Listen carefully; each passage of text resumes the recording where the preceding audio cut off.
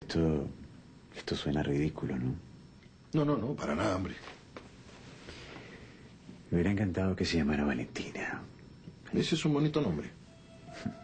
Sí. También me hubiera gustado que, que en su rostro hubiera llevado algo de su madre.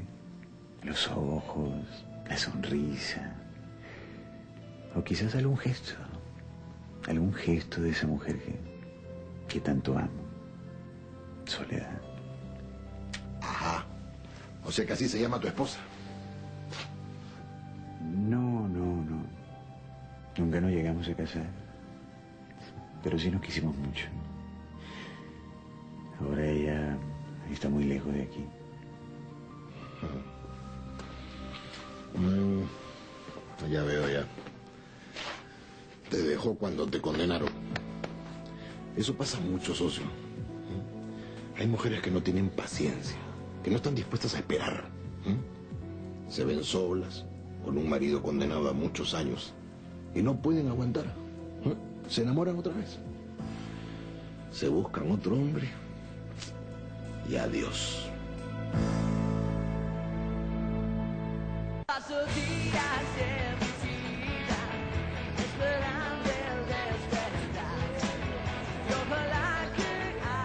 Me decidí por administración de empresas porque es una carrera más corta, más práctica. Y yo tengo que terminar pronto y trabajar para poder ayudar en mi casa.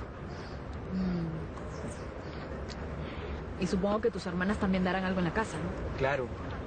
Toña trabaja en corretaje a pesar de que su marido dejó un negocio cuando murió.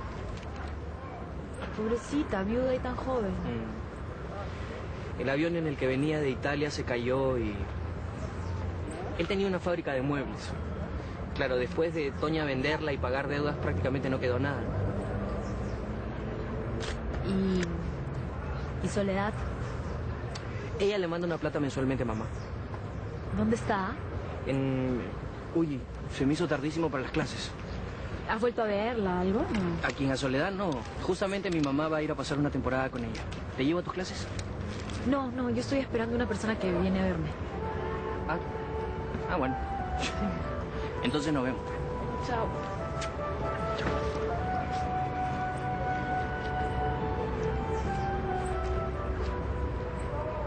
¡Hola! Llegaste. ¿Vamos? Todavía hay tiempo. Ok. Bueno, ¿tú crees que tu tío te vuelva a recibir? Bueno, yo le dije que volvería a visitarlo y él no se negó. ¿Y cómo está de ánimo? ah? Digo, ¿cómo se cuenta? Ay, Gabriel, yo no sé si podrá resistirlo. La situación por la que está atravesando es peor de, de lo que uno se puede imaginar.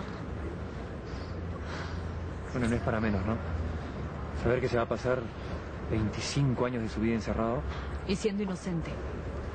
Dani, yo no sé en qué te basas tú para que se te haya metido esa idea en la cabeza. Lo sé, Gabriel, lo sé. Ahora estoy más segura que nunca. ¿Por qué? ¿Descubriste algo? No, no, no he descubierto nada, pero estoy segura. Igual no, no va a pasar nada, porque él quiere que se queden así las cosas y hay que respetarlo. Ay, Dani, no te entiendo, la verdad.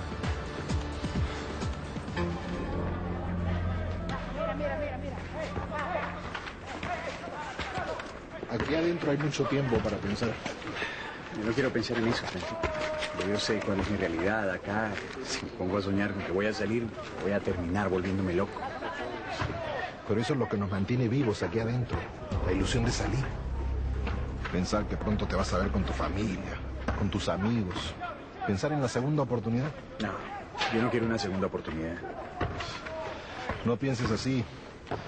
Yo pensaba así cuando recién llegué y sufrí mucho. Yo sé cuál es mi condena. Ya no puedo hacer otra cosa. Tú tienes que mantener una ilusión en tu cabeza. La ilusión de salir. Mírate, mira cómo estás ahora. ¿Eh? Hace unos meses, esta conversación la hubiéramos tenido dentro, en la celda. Y ahora por lo menos sales. Sí, todo gracias a ti, ¿no? Saca esos pensamientos negativos, derrotistas. Claro que es así. Que si no, no hubieras hablado conmigo, todavía estuviera encerrado en esa maldita celda. De todas maneras, igual, estar allá o estar acá, para mí, para mí es lo mismo, Francisco. No digas eso, Miguelito. Tú aún eres joven. Y 25 años no son demasiados.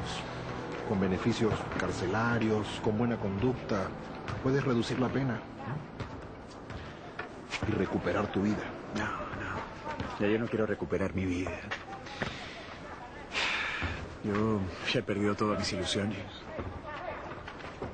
Miguelito, tú estás vivo y eso es lo más importante. No importa qué haya sucedido antes. Lo importante es lo que viene por delante. ¿Entiendes?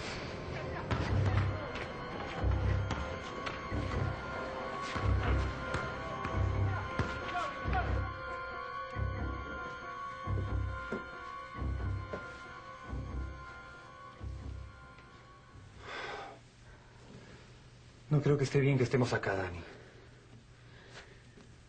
Solo será un momento, Gabriel. ¿Qué pretendes, Daniela? ¿Qué, qué buscas? No lo sé. Una huella, una pista. Algo, algo que me haga tener la certeza que mi tío no lo hizo. No entiendo por qué crees que vas a encontrar una huella, pista o algo si la policía, los detectives y media comisaría estuvo acá buscando y no encontraron nada, Dani. Además, para variar, te olvidas que tu tío confesó. Mi tío puede haber confesado lo que quiera, Gabriel. Pero estoy segura que algo anda mal acá. No estarás pensando reabrir el caso, Dani, ¿no? Si es preciso. ¿Y con qué argumento, Daniela? No lo sé, Gabriel. Todavía no lo sé. Pero hay cosas que no cuadran aquí. Por ejemplo, el arma con que asesinaron a mi tía Victoria estaba limpia. No habían rastros de sangre en el arma ni en ningún otro sitio donde lo hubieran podido limpiar. Y era de esta misma casa, ¿me entiendes? Eso sí que es extraño, ¿no? Sí. Muy extraño. Hay algo que no cuadra en todo esto y yo tengo que saber qué es. Maldición, yo lo tengo que averiguar. Mi amor. Supe dónde estaban por la nota que me dejaron. Aproveché en cocinarles antes de regresar a la clínica. Gracias, hijita, pero con lo cansada que estoy no tengo ni hambre. ¿Y? ¿Cómo les fue? No pudo habernos ido mejor, ¿no, mamá? Entonces, Felizmente un par de personas nos dejaron pasar sin hacer esa cola que da la vuelta a la esquina. Por eso llegamos más rápido. Bueno, y como Soledad había enviado por fax una carta de la empresa donde trabaja, todo se nos hizo mucho más fácil. ¿entonces se la dieron? Sí, nos dieron la visa. Ahora solamente falta recoger los pasajes y mañana en la mañana estaremos rumbo